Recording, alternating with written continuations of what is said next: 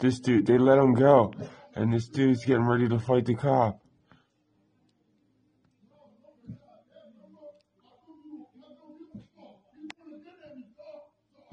Shut up, y'all.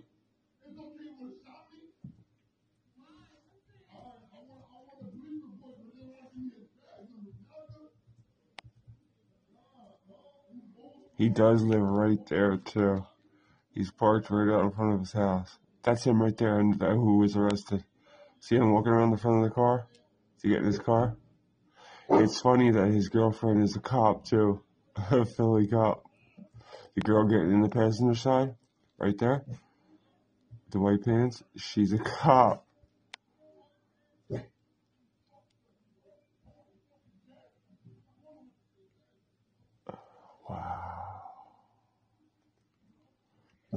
There's like fucking, tw- oh, sorry for cursing. There's like 20 cops. That one white shirt. White shirt means he's a supervisor. Oh, see him in the front of the car? He's trying to rumble the cop.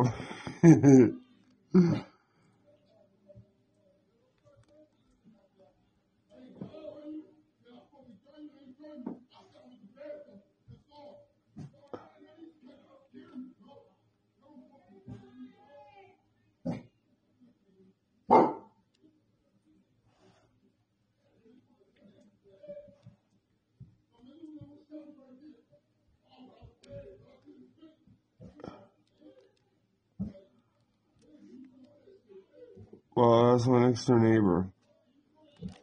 Story is in a situation.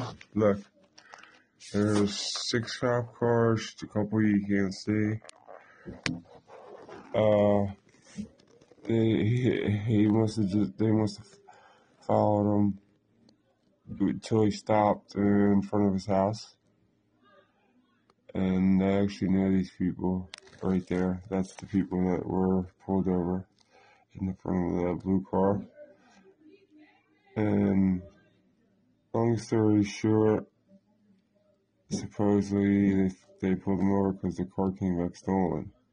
But the guy, his wife, who just got in the passenger seat, is I think they think is a Philly cop. So, but he's saying that the cop pulled his him.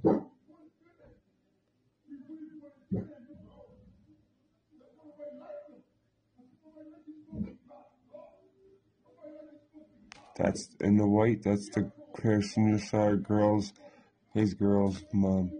The cops are getting ready to leave. See.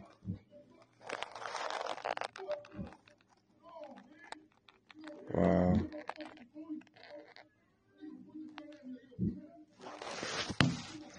Yeah. He needs to let it go. Cops sometimes just pull guns. Be, oh, they're gonna follow them. I guarantee it. And then they're gonna look for some some reason to arrest them. That's how Philly cops are. Like back in the day, like say you do stuff like that, instead of arresting you, they take you underneath uh 95 bridge or a bridge or some dark alley and they beat you up and just leave you there instead of arresting you because you because you're resisting arrest. Damn, they cleared out. Philly cops don't play. Oh, it's coming in the morning. I don't know what the deal was.